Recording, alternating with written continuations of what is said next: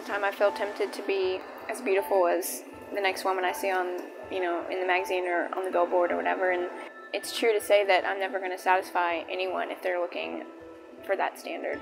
Whereas God sees me as beautiful and I am I'm here to please him and that is my only true purpose and I'm, I'm never really going to please anybody if they're looking for for perfection because God sees me as perfect even though I truly am not but I am because Jesus cleansed me perfectly and and I can please God and there's no pressure there but there's pressure from the world that I'm never going to be able to truly satisfy. And I think for us too as performers there's added pressure because we're on a stage and people are looking at us and we want to impress man so much more than we think about pleasing God. And I think that's a big temptation just for me because I I want to part of me just wants to be a star.